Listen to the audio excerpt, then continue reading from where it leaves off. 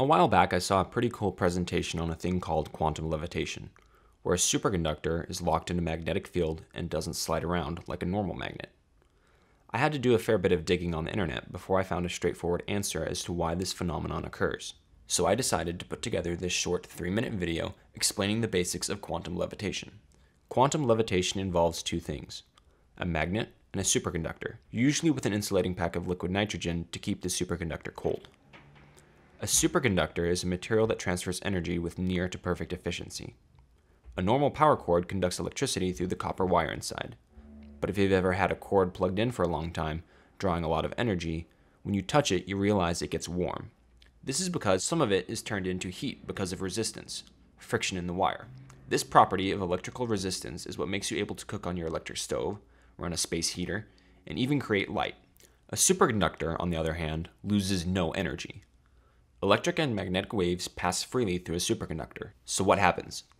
As fast as the charge contacts the material, the charge also wants to exit the material. You can think of it like rolling a ball up an incline, or like swimming against a stream. The charge moves in the direction of the material, but the material is at the same time expelling it as quickly as possible. This is called the Meissner effect, the expulsion of a magnetic field from the interior of a material that is in the process of becoming a superconductor. These two forces cancel each other out the magnetic field slips around the superconductor instead of going through it. This creates a pocket in the magnetic field. Now, if there weren't any other forces acting on the superconductor, it would stay where it's at.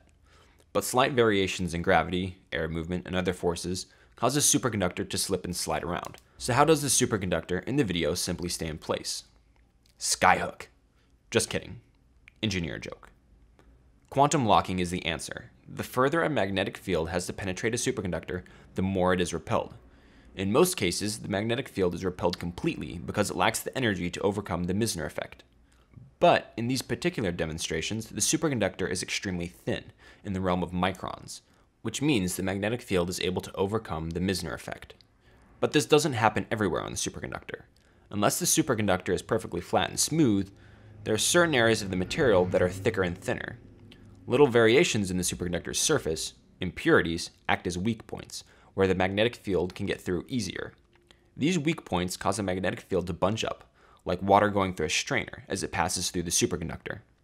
These are called flux tubes, columns of magnetic energy that pin the superconductor in place within the magnetic field.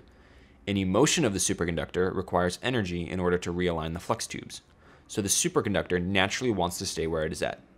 Quantum levitation.